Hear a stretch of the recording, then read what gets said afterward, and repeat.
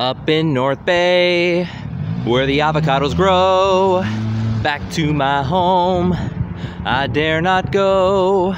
For if I do, my mother will say, Did you ever see some trout knock battalion out down by the bay? All right, we're here. Game five. We're tied at two. This is a crucial one. Let's get it. We saw back home most of the snow was gone, but up here, uh, you know, it's three hours north. Uh, a lot of it is still here. You know, I've always wanted to like walk through this park and you know, just you know, see what's over there, that kind of thing. But I'm a little too big of a wet sock baby, so uh, I don't know. Not today. Just taking a walk on my way to get some food. I love little pieces of symbolism like this. Optometry with the oversized E, like on an eye chart. It's the little things that impress me like that. I don't know why, it just does. You know, I'm almost used to this drive to North Bay now. I think I could probably do it without directions. So, you know, I've been doing it, you know, this is my third time in two weeks, so getting used to it. Uh, but anyway, there were five games in the OHL last night, uh, including two at the end of the series. Uh, the London Knights beat the Owen Sound Attack by a score of 5 0. So they sweep them and move on to the second round. Also moving on to the second round with a 5 1 win over the Windsor Spitfires. The Kitchener Rangers complete the unlikely sweep. They are the first eight seed to sweep a one seed in OHL history. So, because London and Kitchener will be the highest and lowest remaining seeds in the Western Conference, they will face each other in the second round. Uh, Sarnia also could have swept Guelph, but Guelph stayed alive with a 5-4 win, so Sarnia is up 3-1 in that series. Ottawa all over Oshawa with a 9-0 victory in Game 4, so they are up 3-1 in their series. And with Barrie uh, winning 4-1 over Hamilton, capped by an empty netter by goalie Anson Thornton. Uh, Barrie wins 4-1, and they are up 3-2 on Hamilton. In addition to our game tonight, there are two others going in the OHL. Flint at Saginaw Game 5. Saginaw leads that series three games to one. Also Guelph at Sarnia Game 5, which Sarnia leads three games to one. So both of those series could end tonight. Also possibly ending tonight is our Gatineau series. Gatineau is playing Game 5 tonight in St. John. They lead the series 3 to 1. So Gatineau could potentially wrap that up tonight. If they don't, Game 6 and 7 are back in Gatineau. So I like our chances still. No sign of the bus again, but there are a couple of battalion players working out up there. the players are here though. Uh, when I came back to get my dinner, I saw like Benny and Struthers and uh, Eggleton going to get their dinner. So uh, uh they are here. So uh, I don't know where the bus is. Maybe it's gassing up again. Uh, maybe it's the thing they do when they get here. But yeah, almost going inside. So again, we'll probably see the bus when I come out. Back in the same spot again, pretty early. I think the guys are still playing their game of ball here. Uh, but yeah, they actually turned the lights on in here for once. It doesn't uh, feel like a cave. But yeah, we're here. Game five is almost upon us. I can't even lift my foot that high anymore. The things these guys do to make me feel old. Battalion warming up over there in the distance. You think anything could happen if I went over there? Oh no, that steelhead fan touched our ball. Now we're gonna forget how to play hockey. Oh yeah, there's that dark arena we know and love. Or love, you know. You got the idea. Sing to me while I get food.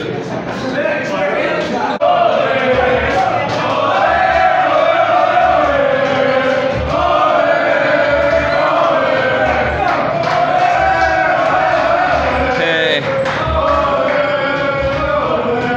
There we go.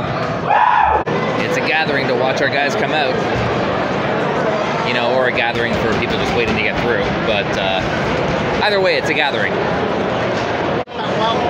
They're rough. Knock them down.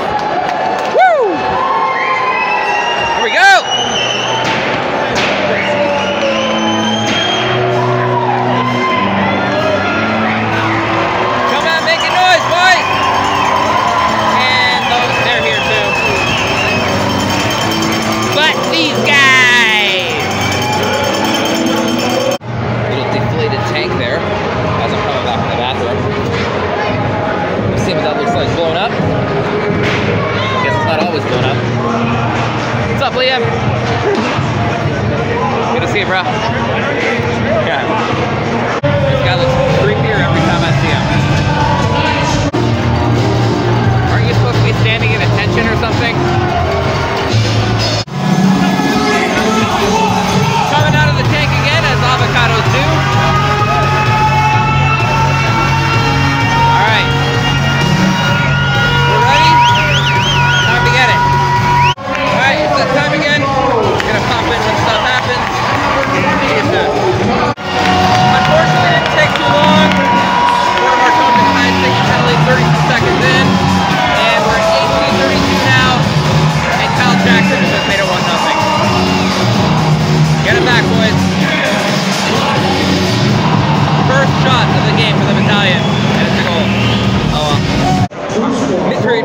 1 nothing battalion. Uh, 6-2 are the shots for North Bay. Uh, we actually had another goal saved by Charlie Callahan. Now we were on another penalty kill where actually just took a tripping. So it was served by Misa. But uh, Callahan blocked the shots. He was in some pain. Uh, he didn't leave, but you know he's still hurting. I can notice. But uh, still 1 nothing, and uh, yeah.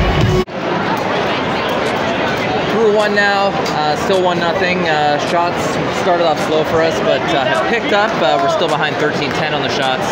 Uh, we do have a minute two remaining on a power play. Paul Christopoulos took a holding call. Let's capitalize on that in the second. That is still not a parking spot. I met some viewers. How you doing? Good, you? Yeah, good, good. What are your names? Uh, Quinn. Yeah. Okay, good to meet you guys. Yeah. Enjoy the game. Hank is being a TV star. Love to see it. It is nuts in here. Granted, this is a very small building, and a big crowd, you know, makes you feel even smaller. But, uh, you know, North Bay is not known for their big crowds either, but uh, it goes to show you when you put effort into trying to sell tickets, you can sell tickets. Just saying. All right, on our way back.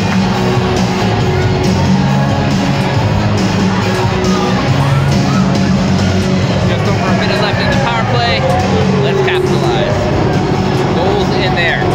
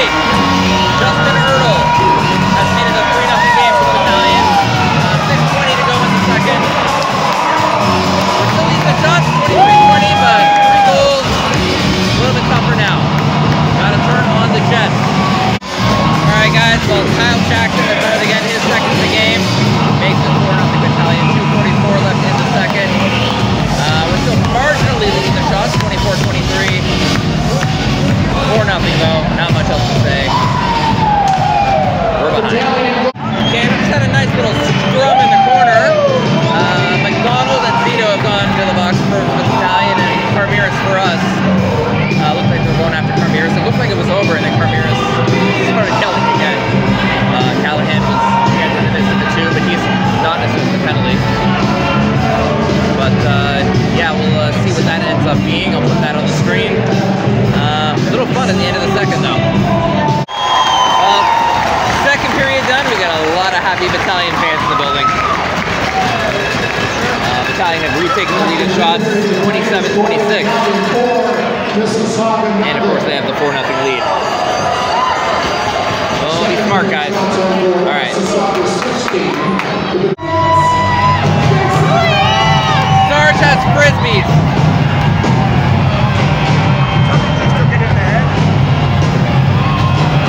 That looks dangerous.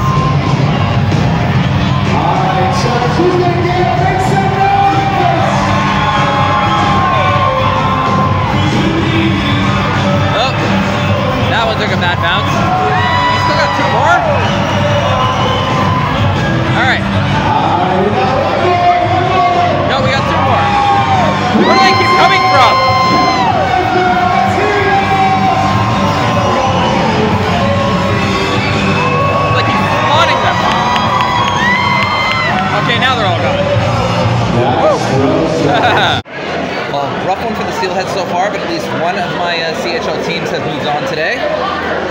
Capital Olympique have beaten the St. John Sea Dogs 6 to 1 today and have moved on in their series. They'll be going to the second round. Uh, opponents still to be determined. Uh, could be, I believe, Rouyn-Noranda or it could be Victoriaville, one of those teams. Uh, all the other series need to be played because they reseed within the conference just like they do here. Uh, but uh, they've moved on. Uh, I don't know if it's Rouyn-Noranda because that's the team I saw in February. Uh, I don't know if I'd make a special trip to go see that team again. Uh, but if the Steelheads happen to be in Ottawa around the same time, then we'd think about it. But uh, Steelheads have to get there first. Third period, got caught in the bathroom, but here they are coming back for the third. It. Also, we have an Alessio Bellieri sighting into the third period. Leader sits for the rest of the day.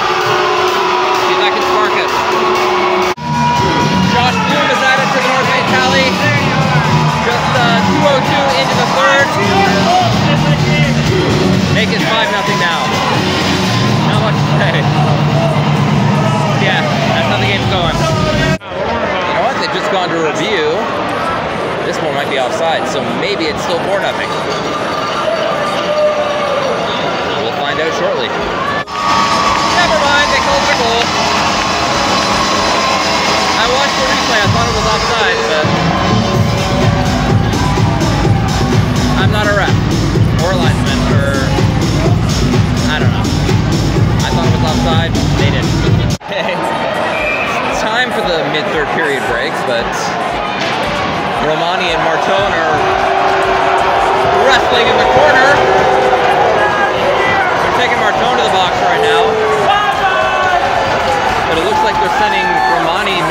Dressing room.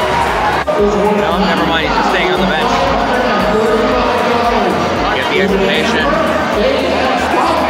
Yeah, there's no uh, Italian in the box, so.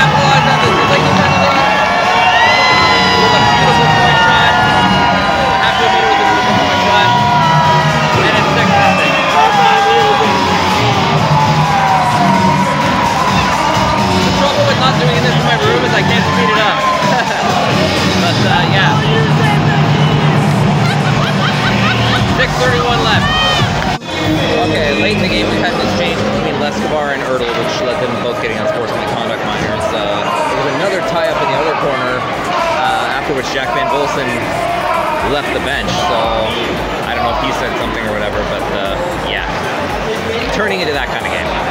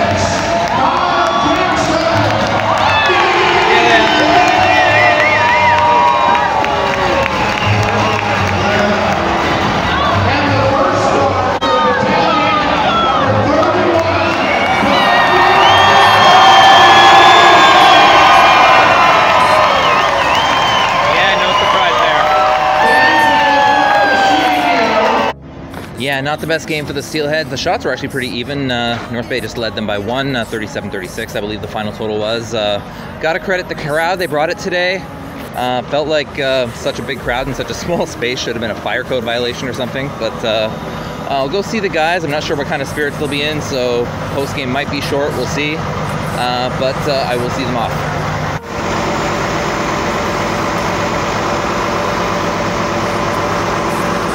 Guess this might be my job again. That's yeah.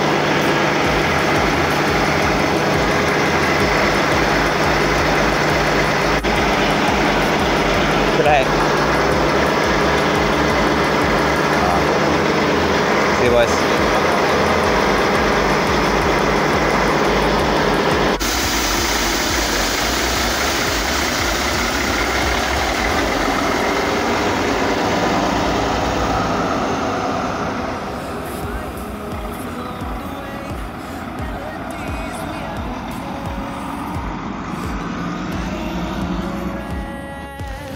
before I get into the ending stuff, uh, you guys may be wondering why I still wait for the bus, even when I know that the conversation is probably going to be brief. And the reason is this consistency. It's like, I don't want them to think I'm treating them differently just because they're, they're losing. Like, I treat them the same whether they win, whether they lose, whether they're a first liner, whether they're a fourth liner, whether they're a healthy scratch. Like, you know, they're athletes, but they're humans first. And, you know, I just want them to know that just because the result might not have been what I wanted, and tonight, well, it wasn't. Uh, the Steelheads got shut out for the fourth time this season, the second time by Dom DiVincentiis. Uh, but uh, it doesn't make them different humans in my eyes. So I just want to keep that consistency going and, you know, make sure that, you know, I'm not that disappointed in them. Like, I don't think less of them as people uh, because they lost. So, uh, yeah, that's why I do that. So quickly before I go, the other scores from today: Flint beat Saginaw five to two, so they stay alive in their series. Uh, Saginaw still leads that series three to two, and also staying alive, the Guelph Storm, who beat the Sarnia Sting three one tonight. Uh, so Sarnia is up in their series three games to two. Also, I did tell you about the Gatineau Olympic moving on, but I do know now that uh, all the Q games are done. Remember, Gatineau's game finished first because they were playing in Atlantic time. Uh, now that all the Q games are done, I do know that Gatineau's second round opponent will be the Rouyn-Noranda Huskies, the same team that I saw them play in February. So I don't know, uh, again, if I'll make a special trip to see them play Rouyn-Noranda because I already saw them do that this year. Um, but again, if the Steelheads happen to be in Ottawa, and again, they have to win the next two games to make it to Ottawa. Um, but uh, we'll see if that happens. Once again, I end by asking the OHL and CHL please allow the fair use of your professional and amateur footage, help the small media so they can help you. Until next time, you can find me behind the bench and only the bench. This is Jordan signing off. Until Sunday, guys, let's hope it's not the last one. Have a good one, guys. Bye bye.